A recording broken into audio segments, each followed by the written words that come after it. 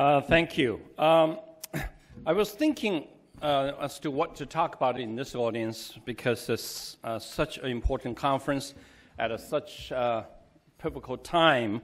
And, um, you know, I can talk about IPO, I can talk, talk about the exchange, but I was looking at the morning topic and I had a, a, a number of conversations with the people in the mor- uh, who spoke.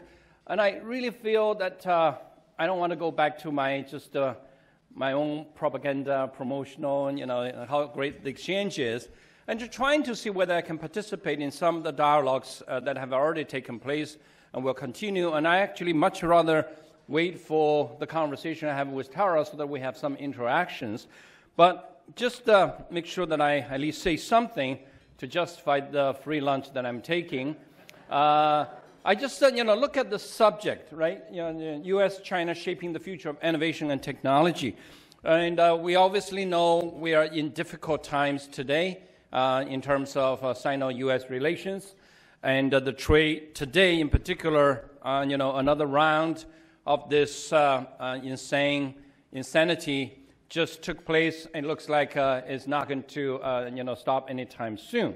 And the, you know, there, are all sorts of theories, you know, so, you know, trying to, essentially trying to articulate why this is happening, what is really the ultimate purpose, and what is the motive behind this, and what are they trying to do, or what anybody is trying to do, and whether or not ultimately this is going to work. Whether this is really just about unfair trade, uh, or this is really about, uh, you know, containing China or whether this is really about trade itself. It's actually, you know, really is about technology. It's really about dominance.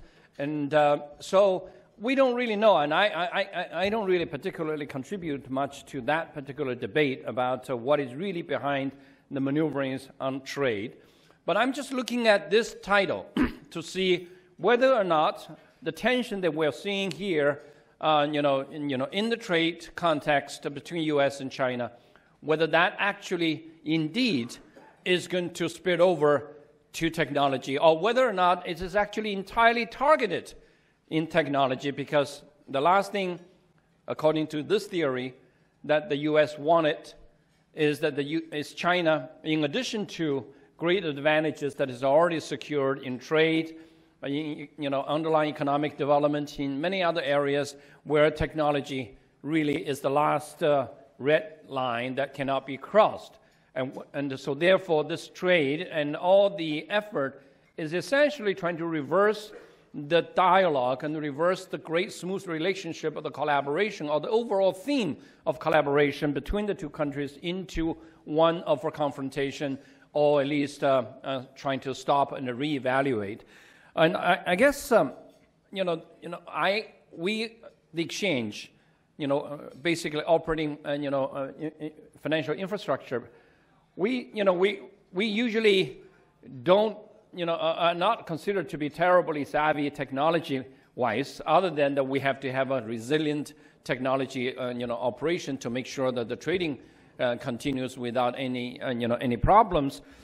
But lately, as you know, has been introduced by Tara, that we have done a lot trying to become a lot more relevant in the new space, in innovation, in technology. So I guess all of us are really trying to find our role in this new universe of technology and this new innovation in this digital era.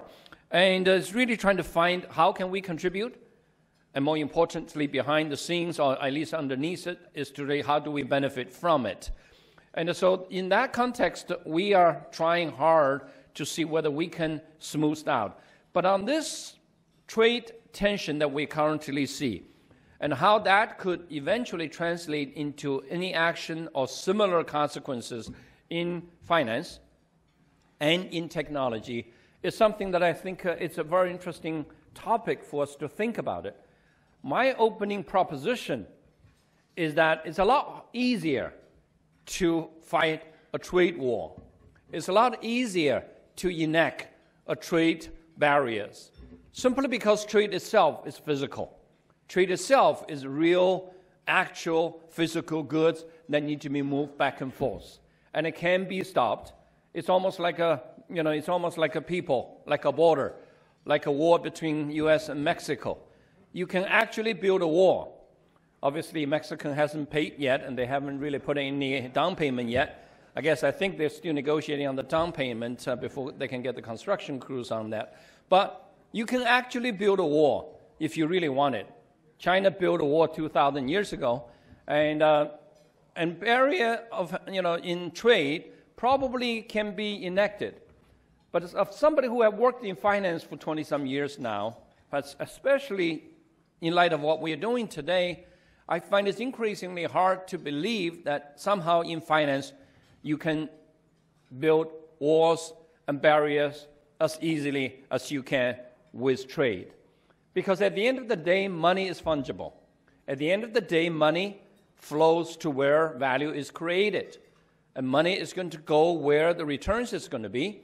And you can try to hold them back and you try to do whatever you want it, but ultimately it is, you know, water is going to flow from the mountains to the oceans. You can stop them, you can build a big dam, but when the dam is filled, you still have to let the water go. So that's just physics. So I don't really think anybody can really truly build a wall or barrier in financing. I mean, obviously, China, you know, ironically, you know, is the only biggest economy today that still maintain a very strong and reasonably effective capital control for a lot of reasons that we don't really need to debate as to whether or not they're justified and whether they're not right. It's a big country, has a lot of issues, had a lot of challenges, and it still yet today can't afford, at least in accordance with the current decision and the views of the current decision makers, and uh, that is not yet ready to break down that wall, break down that barrier. But even that, we see so many changes. We see so much that has taken place. Just barely looking at our little universe. And, uh, you know, you all know back, um, you know, the initial capital flow started with the companies making the journey. Back in the early 90s, China doesn't have a, you know, capital market. Hong Kong has a small capital market. And U.S. market is the only market that really are able to provide any financing. So at that time, it is the companies, the issuers, who travel thousands of miles and go to the US, do roadshows, and do deals. And then the Hong Kong market becoming a very easy place for them to be. So they no longer have to cross the ocean, they just need to cross the Shenzhen River. So they came over in Hong Kong. We become a very big capital formation center, but that still required them to come over. So that's really the Hong Kong's first business prop, prop, proposition for the last 25 years. That is, the Chinese companies come to Hong Kong, international money flow to Hong, to Hong Kong, and then being taken up into China. but in the last five years, you have read that now increasingly people wanted to, international investors also want to invest into China, but in a way that is consistent and familiar with their own practices and trading habits and trading cultures. The brave ones already went in there in QFII, in RQFII, but the ones who really wanted to go but don't really want to make the jump wanted to find a way to do so. Correspondingly, the Chinese wanted to put their money out of China and put it into diversifications and in Hong Kong first and maybe over time later. So I think they really have that need. So we built Stock Connect. So essentially, Chinese can sit in China and invest in Hong Kong underlying, and conversely, international investors are able to sit in Hong Kong and you know, in, directly invest through Hong Kong Exchange into the domestic market. That's called a Stock Connect. We expanded that to Bond last year, called a Bond Connect. So again, even with the most interesting and strongest capital control was we are able to find ways to get both the regulators to be comfortable, at the same time allow capital to flow more freely. And uh, then obviously, with the technology, with innovation, we start to really face another very big issue that we almost began to repeat. You know, four years ago, five years ago, Alibaba again had to repeat the journey that many of the Chinese listed issuers' predecessors have to go many years ago, 20 years ago. because somehow in Hong Kong we are not able to accommodate to that type of companies, and they have to travel to the United States again. And many of them did, and many of them are still doing it. And in order for us to think back 25 years ago, what we did that we actually allowed all these people who have a natural inclination to be here, and so that they don't have to travel far. Many of them still want to travel far because there are special things in U.S. that they wouldn't otherwise be able to get here or somewhere else. Then good luck and continue travel.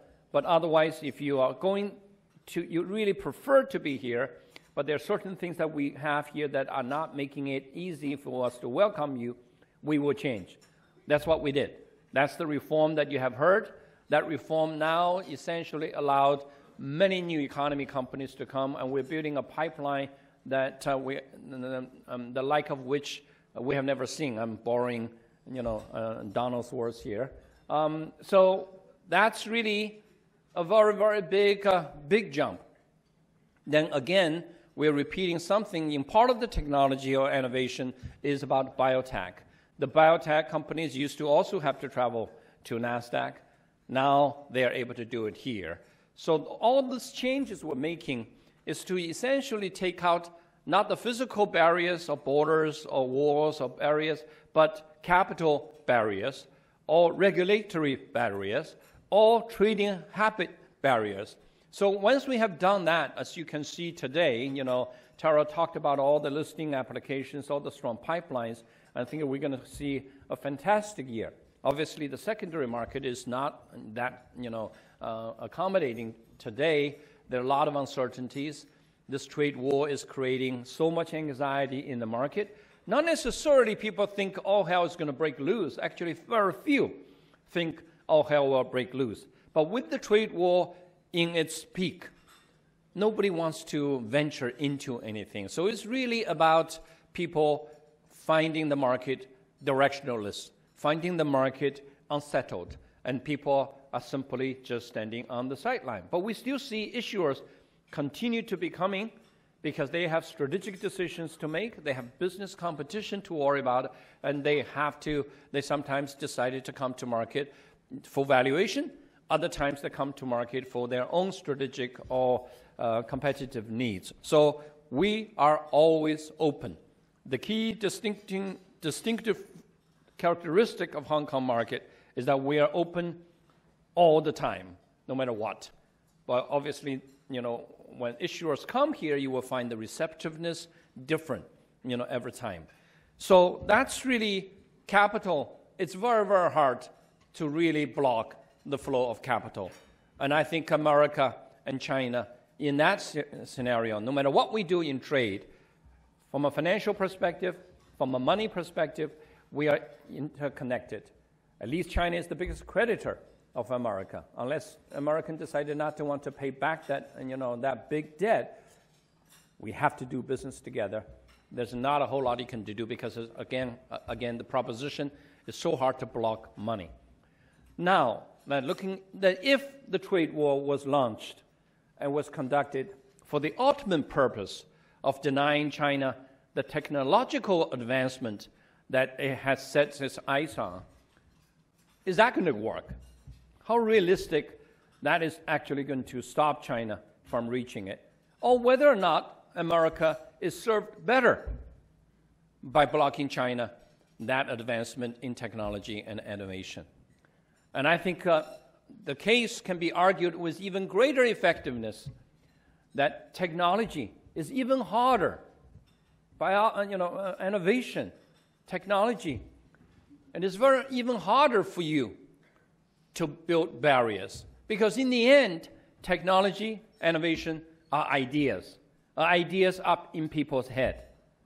In people's head, they talk, even if you don't allow enough Chinese students to get degrees in the US, even if you do not allow a lot of PhD students from returning to China to conduct business, you cannot stop people from talking, of sharing.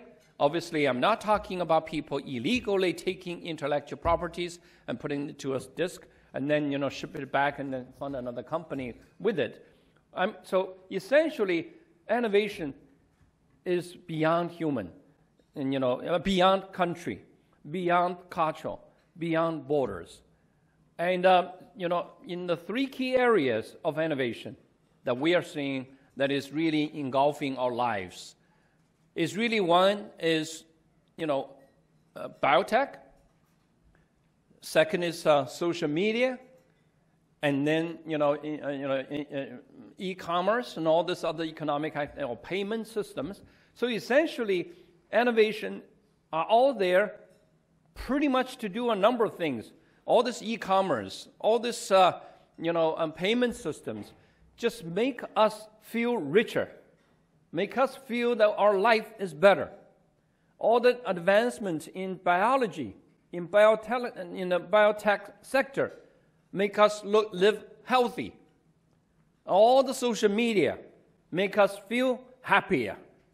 I'm not sure completely true that we are all happier because we have uh, Facebook and, uh, and all of that. I don't know. I mean, you know, you know, uh, as you can all personal experience. You know, I, I just went came back from holiday with the kids.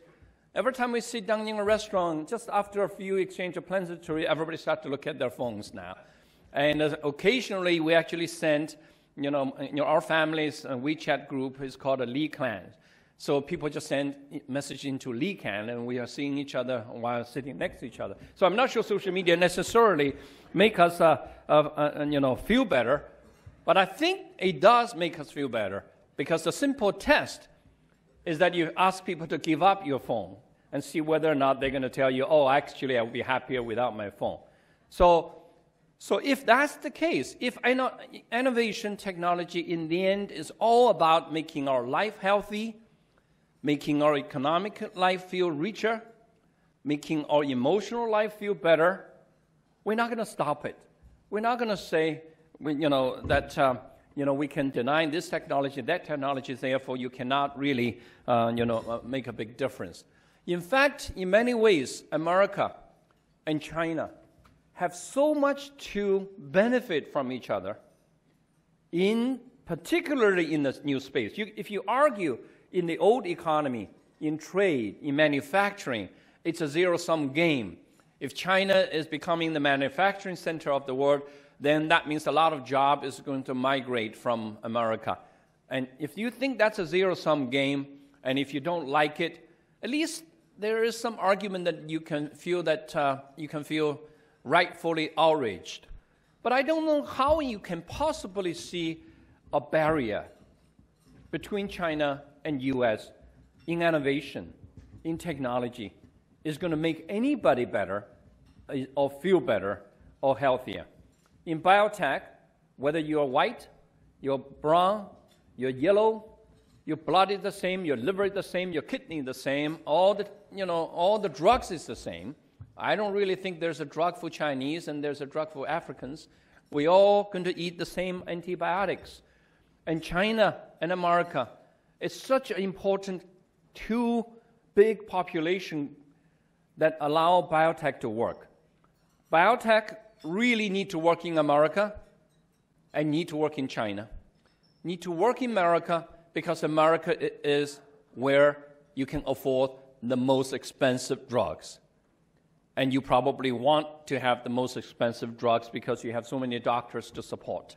So there, you know, you essentially that deep pocket in America is the guarantee of research development.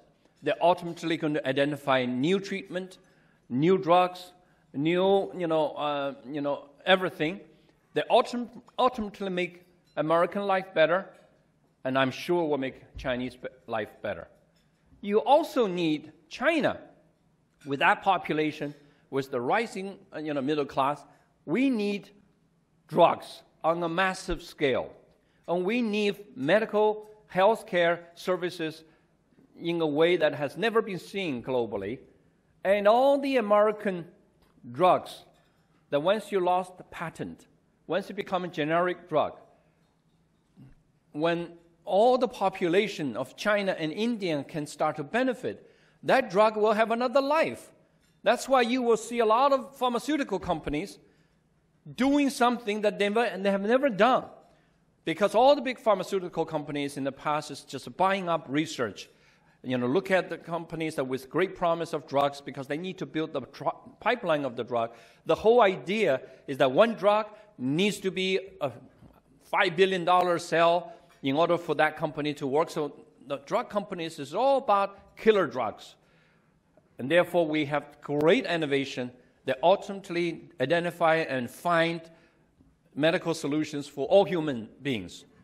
But when Americans, when the patent is gone, that need to be popularized. And China is the best middle class market that are able to do that, and India is right behind it. So I think biotech, tremendous amount of collaboration, tremendous amount of mutual help. And I think that's why China finally changed its drug administration policy and is essentially aligned all its drug approval process with the US and EMU, uh, Europe. So now the reason we are able to launch a biotech chapter in our listing is precisely because all the regulatory regimes are pretty much aligned and we are able to rely on those regimes to really approve and vet applications for listings here. But if you move beyond biotech, if you into social media, social media probably is the most politically controversial because they are, you know, they are content restrictions still, and uh, you know, uh, American is reasonably content free. But today, obviously, with all the election, with Russian hacking, with all the privacies and issues, I think uh, big U.S. tech is under a lot of pressure itself. But, but if that's the case, you still think social media completely flat the barrier of all communications. If you still don't like the fact Google is, in China, is not in China and Facebook is not in China, you should know that people today in China, they don't have Facebook, they don't have Google, they have something pretty similar. Obviously, there are differences. I'm not denying the magnitude of the differences. But if you look at social media, if you look at the technology innovation that have happened in China, if you look at the benefit that has brought to the Chinese population in terms of its own enlightenment, its knowledge, its insightful, its information, its understanding of international affairs, you never see any population that is us connected, us feeling us emotionally related with Americans or with anybody outside China. And that is only going to become, that earth is only going to become flatter and flatter and flatter. And there's no way that any efforts by government to build barriers is going to make people feel even feel less communicated. They may not like exactly. There are many things that drive people nuts and drive people crazy, both in China and in America. But I do think in the end, ideas, communication, information are not able to be really blocked. You know. So finally, looking at uh, even more revolutionary and disruptive technologies that are coming ahead of us. Look at AI. Look at uh, uh, you know, computing. Look at data mining. Look at data itself. I think in that, I would argue that America and China probably even need each other even more. Because America, obviously, with all the universities, all the PhDs, all the policies supporting innovation and freedom of information, freedom of ideas, and will always be on the cutting edge of technology advancement. But China today, China's backwardness, China's inadequacy in terms of retail services, financial services, healthcare services, all of these things in China will turn out to be China's most important assets. Simply because the backwardness of many of those services, China is the only major market that are able to essentially embrace the new forms of economy faster, bigger than anybody, and certainly than America. Healthcare, for example. I would bet that China's healthcare, healthcare will very quickly be digitalized. And if China is able to digitalize its medical services, essentially, if we are able, China is probably more digitalized in its patients' records services than, anybody else. It's still in very many different pockets, but it's already digitalized. And I bet that we are going to be much faster than America to have a national digitalized medical industry. What does that mean? That means that one day, as long as privacy is able to be maintained, regulatory system need to be established, we will become a system that can deliver healthcare better than America. Just a simple example. If everybody are able to put your MAR, MRA files online into, a, you know, into various pockets that can be shared with protection, privacy protection, everything else, every hospital start to build an AI that is able to read hundreds of thousands of MRs and be able to train the deep learning of the AI machines.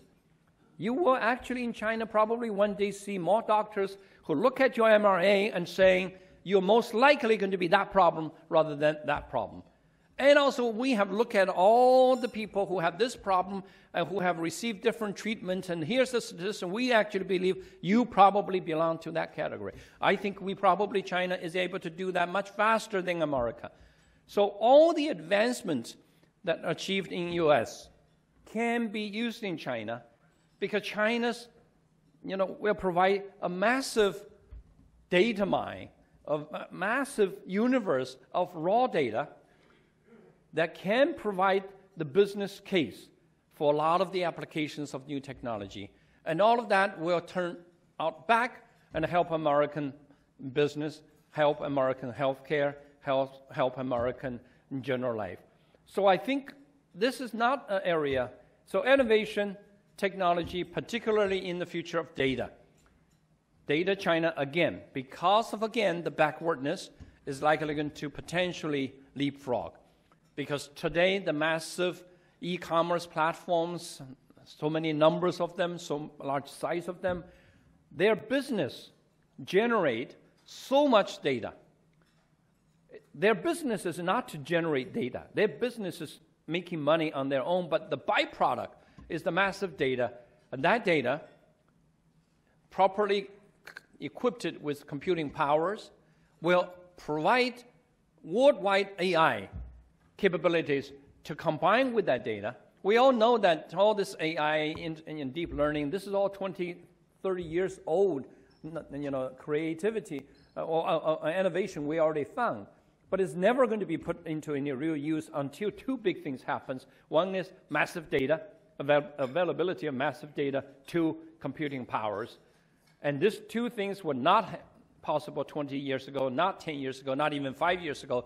But with Moore's law, it is now finally around the corner. So we, you know, we are going to be seeing innovation, and we're going to be seeing the new universe probably so fast and so close that unless uh, other than some little apprehension as to exactly how that is going to reshape our lives as we know it, it's all supposed to be good news. Good news for health, good news for life, good news for emotional being.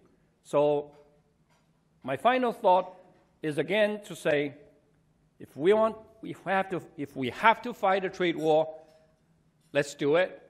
Let's figure out how far that gets us. But I don't think we can fight a finance war. I certainly don't think we can ever fight a real technology war because that's just not going to get us anywhere. Thank you.